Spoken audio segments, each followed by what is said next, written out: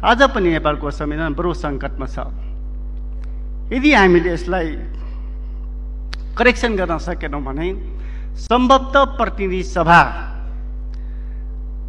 लोकतान्त्रिक गणतन्त्र उन्मुख शासन व्यवस्थाको लागि निर्माण भएको यो संविधान या यो संस्थ अन्तिम हुन सक्छ भन्ने मलाई लागेको छ।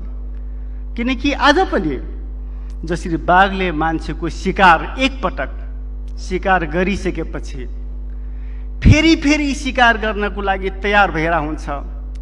जसरी बकुलले माछा ढुकिरहेको हुन्छ बिरालोले मुसा ढुकिरहेको हुन्छ दुध ढुकिरहेको हुन्छ अहिले पनि नेपालको संवैधानिक व्यवस्थामाथि जसरी बिरालोले मुसा ढुकिरहेको छ बकुलले माछा ढुकिरहेको छ नेपालको संविधानलाई च्याचु ध्वस्त नष्ट गर्नको लागि नेपालका पूर्व प्रधानमन्त्री।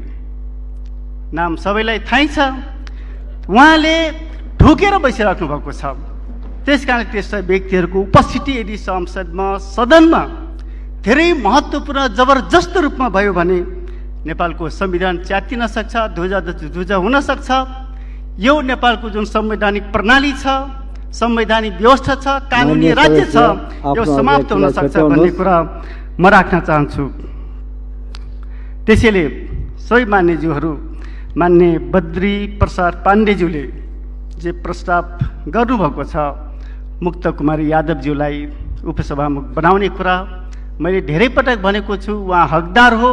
हकदारको नाताले हामी सबैले सबै हिसाबले उहाँलाई निर्वाचित गराउनको लागि सबैसँग म अनुरोध गर्न चाहन्छु र म मेरो सम्बन्ध पार्टी नेपाल कम्युनिस्ट पार्टी एकीकृत समाजवादी पार्टी सबैलाई आह्वान गर्न चाहन्छु। धन्यवाद। नमस्ते अभिवादन।